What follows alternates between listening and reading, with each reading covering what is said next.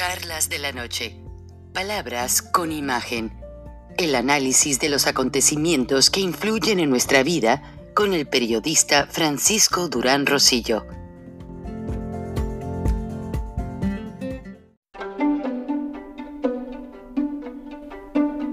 Frank Durán Rosillo eh, te saluda y los saluda a todos ustedes, su amiga María Celeste Raraz, para invitarlos a que se suscriban a mi canal de YouTube María Celeste Raraz, tal como mi nombre, donde les informo todas las semanas eh, sobre entrevistas que tienen un tema que ayuda a mejorarnos como personas y de paso son interesantes. Las pueden encontrar en mi canal de YouTube, así que los espero. Y se suscriben gratis.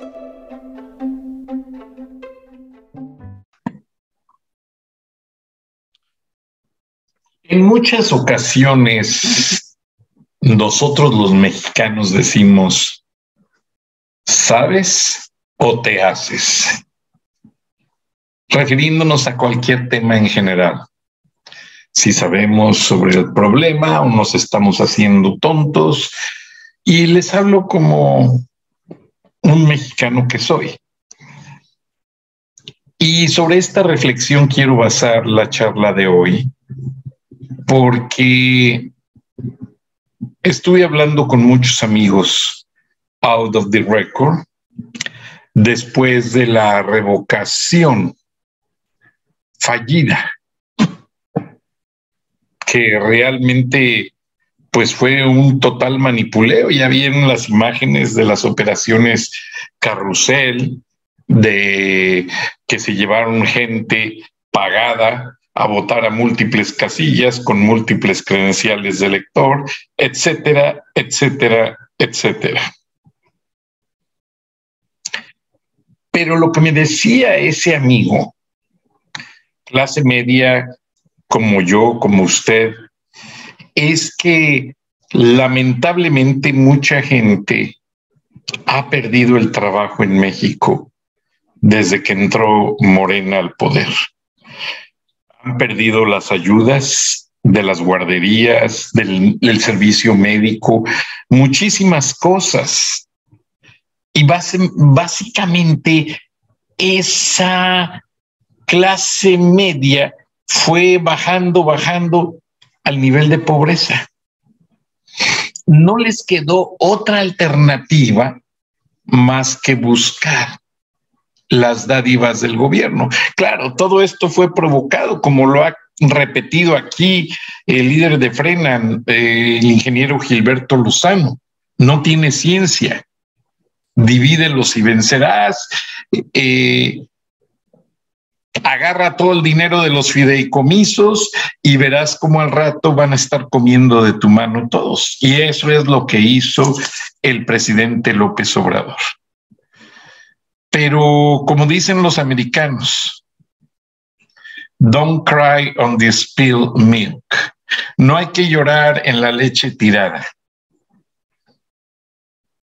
Hay que ver al futuro. El futuro es entender que ya estamos en el siguiente paso de ese proceso de lo que muchos ahora quieren llamar como el nuevo orden mundial. Acabar con el capitalismo, que para muchos es un medio de abuso, de tortura económica, de manipuleo, como lo quieran llamar. A mí me gusta mucho, porque me ha gustado trabajar desde que tengo uso de la razón y el que trabaja tiene y el que no trabaja no tiene. Y mis paisanos vienen a darle duro aquí a, Estados Unidos y muchos de estos edificios que ven aquí en el background atrás, en los años 90 fueron orgullosamente y ahora en los años 2000 fueron orgullosamente construidos por nuestra gente a base de trabajo duro.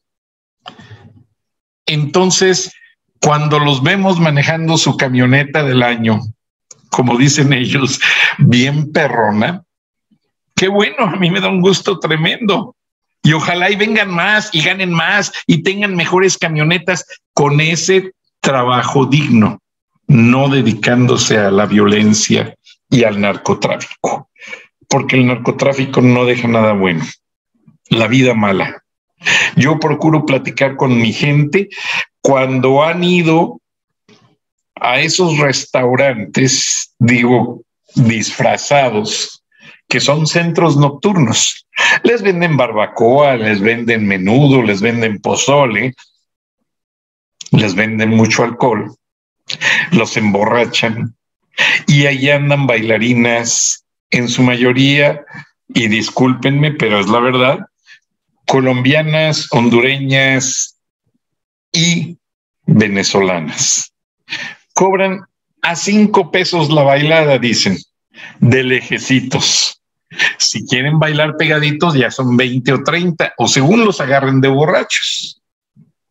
Platiqué con un señor prisciliano al que de plano le sacaron toda la cartera en el abrazo. O sea, él se emocionó en el abrazo, pues imagínense, pobre gente no ha ido en años a ver a su, a su novia, a su esposa, a su familia. Pues acá gastan. Y los he visto cuando me voy a comer mis tacos, que se están curando la cruz de la parroquia, en restaurancitos mexicanos. Y ahí los veo comiendo desesperados. Y ellos mismos platican sus aventuras y sus anécdotas. No vayan a esos lugares. Solo los extorsionan y los dueños en su mayoría son cubanos, colombianos, uno, un peruano, pero no, no vale la pena, amigo mexicano. Tú trabajas muy duro en la construcción, en la jardinería, en las fábricas, en las cocinas de los restaurantes. Quédate ahí, trabaja duro, llega tu cheque, asegura tu renta, lo que vas a gastar en comida, mándale a tu familia o ahórralo para una emergencia. Y la mayoría de los paisanos con, quienes platiqué esta mañana acerca de lo que fue el fraude de la revocación de mandato están decepcionados. Como muchos de ellos dicen, y los entiendo, no están en los Estados Unidos por gusto, se sienten desterrados.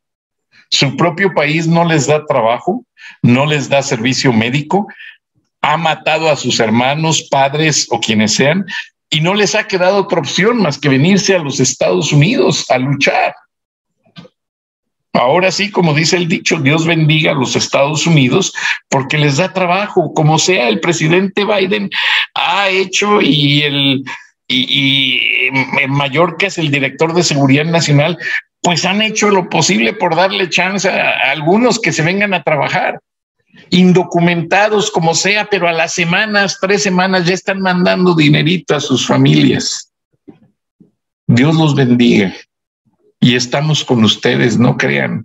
Yo entiendo, yo, yo crecí en el Bajío, una comunidad que en los sesentas y setentas se hizo completamente migrante. Los pueblos estaban solos, solamente se veían mujeres, ancianos y niños, porque toda la gran cantidad de la fuerza laboral, los hombres, andaban en el campo en California, piscando de todo. Entonces, por favor, amigos paisanos, no se metan en problemas, no se metan a las mafias de las drogas. Esa gente no les va a dar nada. En cambio, como yo he platicado con muchos americanos y ellos están de acuerdo, ustedes trabajan duro, no les mienten, no los roban y la chambita es de ustedes. Y en muchos casos hay una historia que estoy trabajando para mi próximo libro en el que un mexicano trabajó para un señor de una fábrica arduamente. El señor le dijo que pues lamentablemente los empleados se estaban yendo. Este mexicano trajo familiares y amigos y mantuvieron la fabriquita funcionando. Cuando el señor se enfermó más, le encargó a este mexicano que se hiciera cargo de la fábrica y le llevara los documentos, él firmaba, él hacía pues básicamente el señor desde su casa todo lo necesario por mantener la planta productiva. Después este mexicano se trajo a su esposa y una hija para cuidar a este señor porque ya era viudo. Las lecciones de la vida. La familia del señor nunca se ocupó de él, de ayudarlo, de ver cómo se sentía, llevarle una medicina, nada llegó el momento en que falleció este pobre hombre intempestivamente. Obviamente la familia directa, hermanos, llegaron, pero sí como sopilotes, a ver qué estaba pasando, pero ya un abogado estaba alertado y ya tenía un testamento que leer el americano le dejó la fabriquita a esta familia por cantidades iguales a todos los empleados que habían trabajado en los últimos 20 años.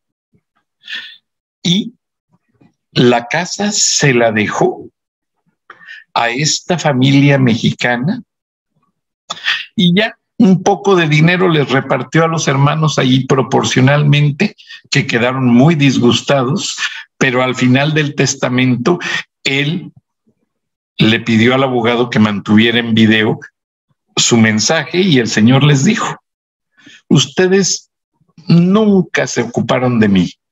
Pasaron años y décadas y yo sí me ocupé de ustedes. Los ayudé en sus grandes problemas, les hice, hice y resolví la vida muchas veces. Y ahora enfermo me han dejado solo. Por tanto, estos migrantes merecen una oportunidad en la vida y no la merecen solamente, se la ganaron. Y así fue. Y de la noche a la mañana esta familia migrante se hizo millonaria porque la empresa pues obviamente tiene un valor adquirido en capital pasivo, en capital circulante, en el edificio, en las máquinas, etcétera. Entonces, si me refiero a este ejemplo, vean con buenos ojos a México. No hay que desdeñarlo. México está enfermo de corrupción por culpa de esos parásitos de la 4T. Sabemos que nadie está contento, nadie está satisfecho. La gente lo dice, lo que pasa es que se aguantan por el temor, como aquellos paisanos que los agarró la las mafias del narco para extorsionarlos. Luego llegó la policía a defender a los narcos. Entonces, como ellos dicen, ¿Dónde está la autoridad? ¿Dónde está el gobierno? ¿Dónde está el respeto a la gente que trabaja? Ya no existe. Pero es que en manera se lo hemos quitado. Aquellos que no votaron en esta revocación, qué lástima. Los engañaron o los amenazaron, les hicieron algún daño, pero México es muy grande tiene muchos recursos naturales. Y me explicaba un ingeniero que lamentablemente ya está desterrado acá en los Estados Unidos, que todo el proyecto del tren Maya y de que rompen los cenotes y esto y lo otro, los cenotes del istmo de Tehuantepec y parte de la península de Yucatán constituyen una base, un banco de aguas dulces muy rico para el mundo. Y obviamente ya hay empresas muy interesadas en explotar esa agua. ¿Por qué razón?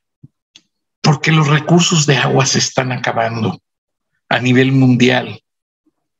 Entonces, ¿qué fue lo que pensó la 4T? Bueno, si metemos un proyecto para expropiar y explotar el agua, como lo hizo Alfonso Romo, que fue una de las razones que empezó y los campesinos se levantaron y protestaron, bueno, pues vamos a meterles el tren. Con la obra del tren están haciendo toda la infraestructura para explotar eso, sin importar el daño ecológico a nivel mundial a perpetuidad que están generando no solamente a México, a la región. Entonces, ¿qué podemos esperar de esta tortura a la madre tierra? La están matando. La estamos matando. Y es muy triste, porque lamentablemente las nuevas generaciones, nuestros hijos y nietos, ya no van a poder respirar oxígeno.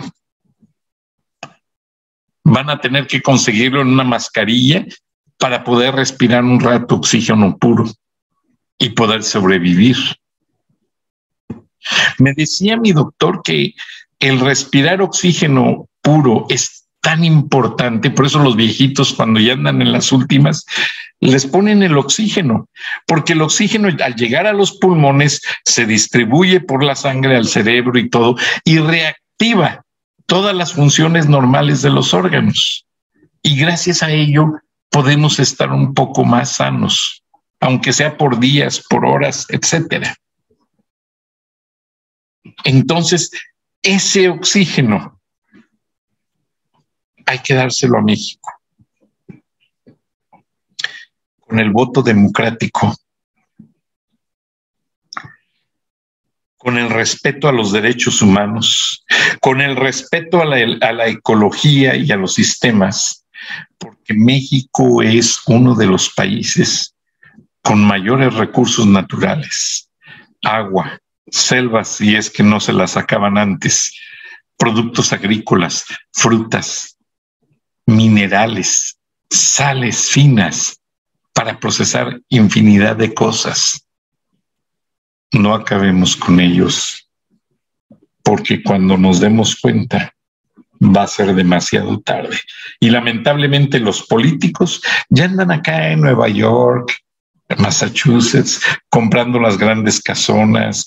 Me decía un amigo que por Champ Elysee ya hay una casa en reconstrucción de una dama que está tratando de no figurar mucho, pero que al final del sexenio va a salir como la primera dama más rica y más poderosa del mundo. Si no, chequen cuánto dinero se llevaron de los fideicomisos. Ahí se las dejo de tarea. Muchas gracias, buenas noches, nos escuchamos mañana.